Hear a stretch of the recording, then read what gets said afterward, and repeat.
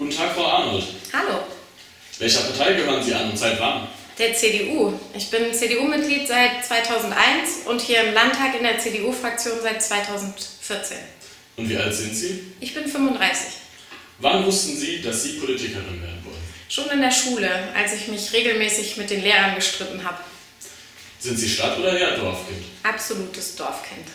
Bitte ergänzen, wenn Sie keine Politikerin wären, wären Sie? Weiterhin als Betriebswirtin in der Wirtschaftsprüfung tätig. Sie dürfen sich einen Wunsch erfüllen. Welches politische Ziel erreichen Sie damit?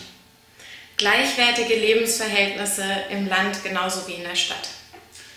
Welche politischen Ziele haben Sie schon erreicht und sind besonders stolz auf diese? Ich bin stolz darauf, dass wir immer generationengerechter Politik gestalten. Wir haben es geschafft, die Kommunen in Hessen deutlich zu entschulden mit der Hessenkasse und mit dem Schutzschirm.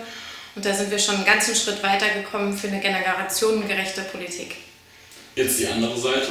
Gibt es politische Entscheidungen, hinter denen Sie heute nicht mehr stehen?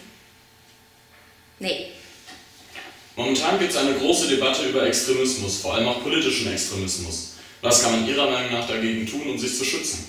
man muss ganz aufmerksam sein. Wir Politiker, wir müssen wirklich Augen und Ohren offen halten und müssen den Menschen ganz genau zuhören. Wir müssen vor allen Dingen die Ängste und die Nöte der Menschen viel, viel ernster noch nehmen, als wir es bisher tun. Ich glaube, dann sind wir auf einem richtigen Weg und können extremistische Organisationen viel besser in den Griff bekommen. Eine große Debatte ist auch das Wahlalter 16. Wie ist Ihre Position dazu? Ich bin der Meinung, dass wenn man volljährig wird, und das ist äh, dann das Alter 18, dass man ganz, ganz viele Pflichten auferlegt bekommt. Und dann sollte man auch ganz, ganz viele Rechte bekommen. Und für mich gehört dann auch das Wahlrecht dazu. Bleiben wir beim Alter 16. Was halten Sie vom Führerschein ab 16? Das finde ich eine ganz gute Idee. ÖPNV. Muss er ausgebaut werden und was halten Sie vom kostenlosen ÖPNV? Kostenloser ÖPNV haben wir ja schon fast.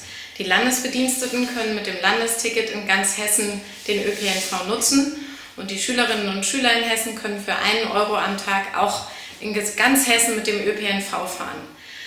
Wichtig ist es, glaube ich, besonders auch noch im ländlichen Raum, wenn man zum Beispiel noch keinen Führerschein ab 16 machen kann, dass man gute Verbindungen hat, um überall hinzukommen.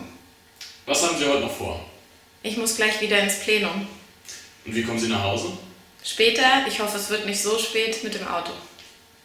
Wollen Sie den Jugendlichen oder wollen Sie uns Jugendlichen noch einen letzten Satz mitgeben? Engagiert euch, bringt euch ein und macht den Mund auf. Sagt, was euch stört, sagt, was euch gefällt. Das ist das Allerwichtigste. Vielen Dank, Frau Arnold. Gerne, schönen Tag noch. Danke.